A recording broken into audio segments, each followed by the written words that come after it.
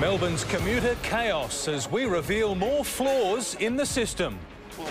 The security breach exposing Brumby government plans. Police launch a major blitz in Melbourne's west. And new concerns over Etihad Stadium's troubled surface. Good evening. It's been a day of chaos on Melbourne's rail network with hundreds of thousands of commuters caught up in the meltdown. It was triggered by a massive early morning power cut after a train brought down power lines near Southern Cross Station. Almost every rail service in the state was affected, causing widespread cancellations and long delays, with operator Metro now facing a million dollar fine. And tonight, commuters brave enough or without an alternative are making their way home. Andrea Edwards has been covering the day's events. Andrea, there are no guarantees this won't happen all over again. That's right, Peter, but for tonight at least, it looks like everything is back on track. And for frustrated commuters, there will be some compensation. The government announcing it will share with Metro the million dollar cost of a free day of travel on Friday. This was the commuter chaos caused by the blackout.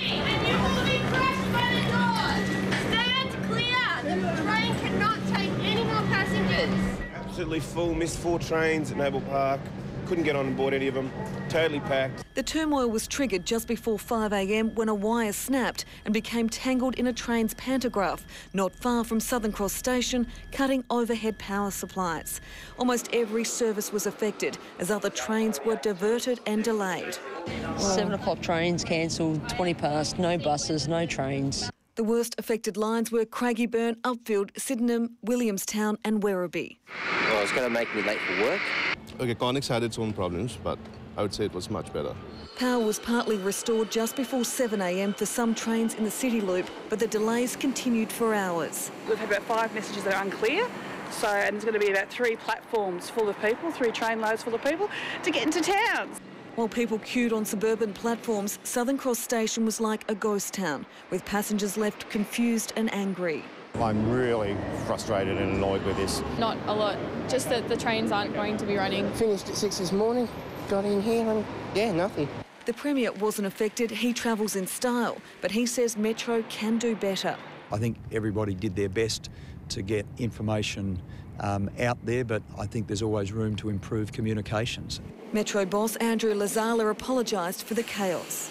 Thousands of people were affected. We move 400,000 people a day, and so you know, most people will have had a disrupted journey today, which is why we're extremely sorry.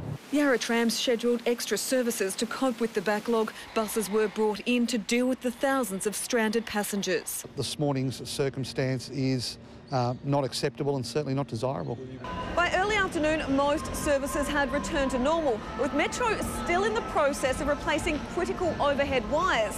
There's no guarantee it won't happen again. We are trying to prioritise all the high-risk areas so that we can avoid as many failures as possible, and, and we are, but we are playing catch-up to an extent. The opposition says it's warned the government about the problems. Today's chaos is a direct consequence of John Brumby's failure as both Treasurer and as Premier to invest in our public transport system. Earlier this month, the Transport Minister withheld $4 million owed to Metro. Today, he offered commuters a sweetener. This Friday, um, travel on the Metropolitan Public Transport Network will be free. Andrea Edwards, 7 News.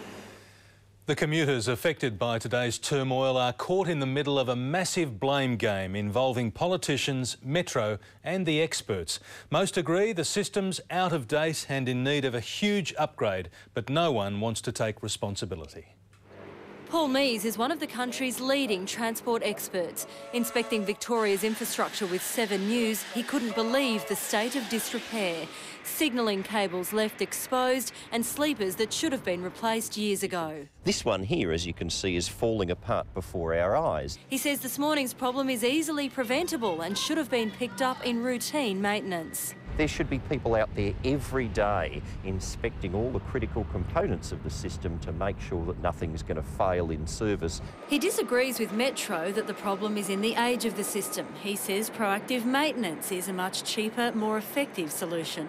Metro, even more than Connex, seem to have the disease of saying, give us more money.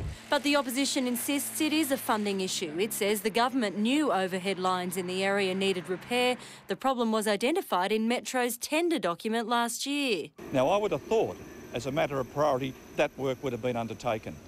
Breakdown maintenance is what this government are doing. Whether the fault lies with Metro or the government, this morning's chaos shows just how vulnerable the current system is. Critics say one small piece of infrastructure should not be able to leave 400,000 people stranded. It's the equivalent to closing down every city freeway and, and then some. User groups want a public transport authority set up to oversee the system.